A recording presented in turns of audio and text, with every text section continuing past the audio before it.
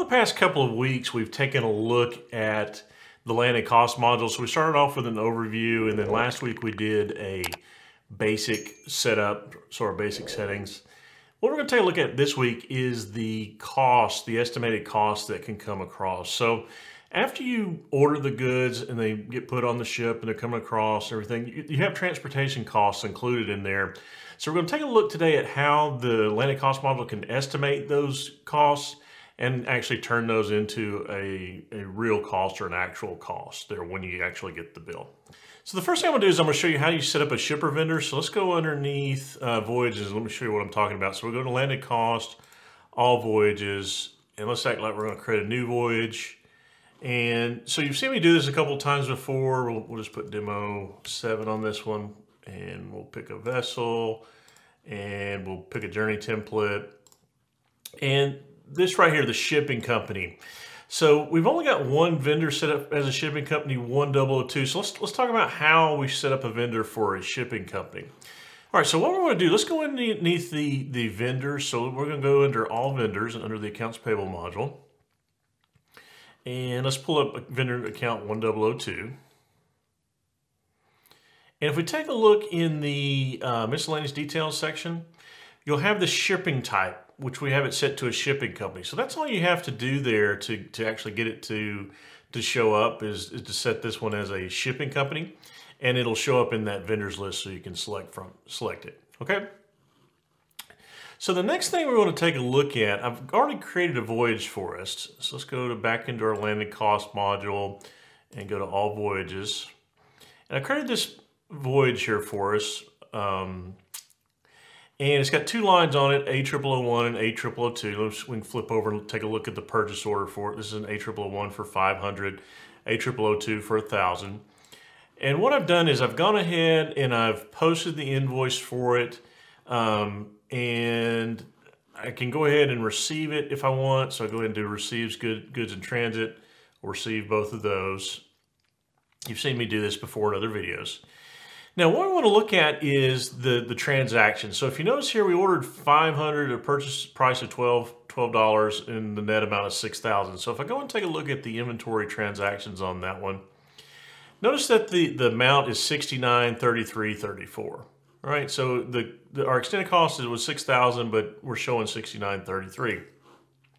If look at the same, the other item too, so our, our net amount is going to be at 24,000 if I go ahead and take a look at the, 20, the transactions on, on it, we'll see that it's 24,866. So where's, where's that extra amount coming from? So the extra amount is coming from some estimated costs that I have in there for uh, duty and freight. All right, so let, let's, let's take a look at that.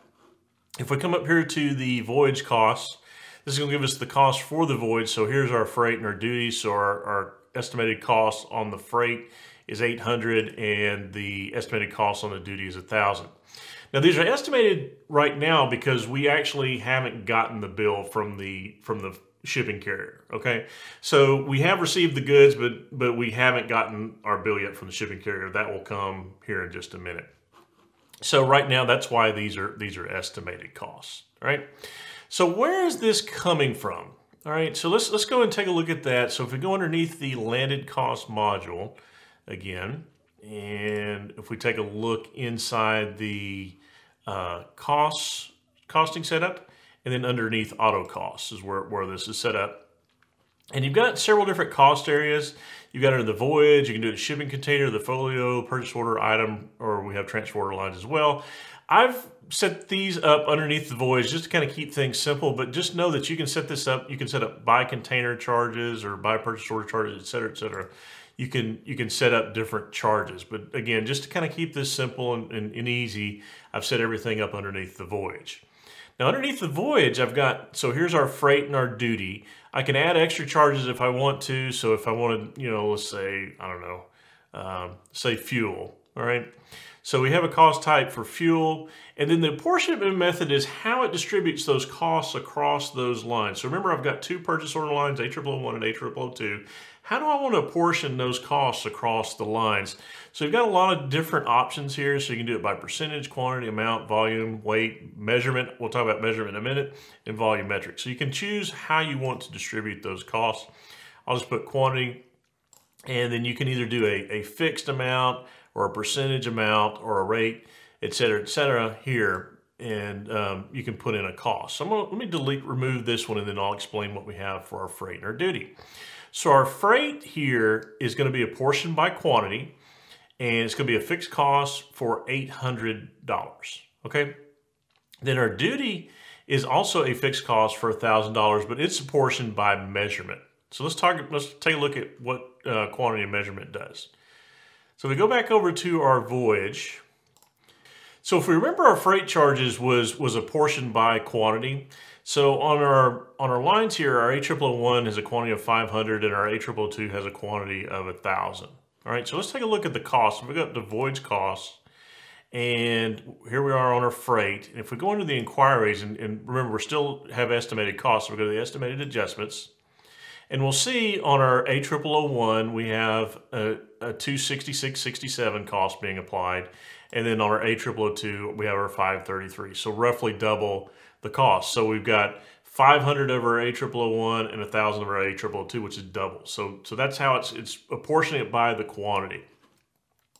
Now on the other line, on our other um, cost that we have, which was our duty, we have it apportioned by a measurement. Now I thought this one was interesting because on the line, you do have to, I did have to add this via personalization. I added, added the measurement, and I could add a measurement unit if I wanted to, but I just added the measurement field. So in the measurement field, I populated this with 10 and 5. So basically, reverse the quantity. So now A0001 is twice what um, A0002 was. So I've got 5 and A0002 and 10 and A0001. Um, and then the total measurement goes up here in the top, so it'll calculate it. So what this is going to do is it should apportion twice the uh, twice the duty charge to the first line and half the duty and half the duty charge to the second line. So if we go and take a look at the voyage costs again um, and go to our duty line and then go to inquiries and then do the estimated adjustments. So now you see the, the charge for the duty is, is twice on A0001 than it is uh, the uh, A0002. So I, I, thought the measurement was kind of an interesting, um, interesting way to do it. Um, there, so again, just to be clear, you fill in these values on the measurement and you can pretty much make them whatever you want. So, so it gives you a, a variable to apportion these charges. Okay. So I thought that was kind of, kind of an interesting one to take a look at. So let's take a look at now. So we've got our, you know, we, we received our inventory and again, if we take a look at our transaction, if you remember on these two transactions, so the first one here, we got 24.86, actually this is the A222, we got 24.866. And then if we take a look at the first one, uh, we have the uh, 69, 33, 34. All right, so kind of keep those numbers in mind here when we, when we post the, the freight bill. Okay, so let's say the freight bill comes in and so we should be looking at a total of $1,800 on our freight bill. But let's say the freight bill comes in at, at $2,000. That's, that's no issue at all. So let's, all we're going to do is we're going to go into the accounts payable and then we're going to go into um, an invoice journal. And let's create a new invoice journal. And we'll give it a name here, which is our AP invoice. Then go to our lines. And the vendor for that was our, our 1002. That was our shipping vendor. We'll give it an invoice date. Do that today. Give it an invoice number, uh, description, and then the credit amount, we're going to put $2,000. So just a reminder, our estimated cost for this was going to be $1,800. All right. So the next thing we're going to do is we're going to go up to functions, and then we're going to select voyage cost. So this is where we're going to select our voyage that we want to match this to. So this is going to be our, our 0009 or, or our voyage 9. We're going to say, okay. So we have $2,000 remaining to a portion here. So we've got 800 and 1,000. So let's just distribute these evenly across the line. So we're going to put allocate 1,000 to that line, 1,000 to that line there. Okay, so see what we're doing. So uh, the estimated was 800 and 1,000. Then we get the actual, it's 1,000 a piece, just to make the numbers easy. And then we'll go ahead and say okay. And then let's go ahead and post this. All right, so once that's done, let's go back to take a look at our voyage. Um, so let's go ahead and look at our voyage cost first. So we go to the voyage costs. Now we've got um, 800 still in our estimated, but now we have an actual cost, so there's going to be $1,000 here. And if we go take a look at our duty, we've got still have the thousand dollars estimated, but we can have actual cost of a thousand. Now, if we take a look at the line, we can go back to our inventory transaction and take a look at this one. So remember, this one has had a had a different amount here, so it's seven thousand dollars now. So the transaction has been gone has been updated. And if we take a look at this one, the uh, the transaction here this transaction amount has been updated here. Okay, so if any of this is confusion, don't worry about it. Um, I'll, I'll, post a link to the, the playlist here of the different uh, landing cost module videos that I've done. Uh, so you can take a look at those and then come back and rewatch this one if you're kind of confused about, about what this is doing. Okay, so hope you enjoyed this. Hope you found some value in this, and I'll see you again next Thursday. See ya. Bye.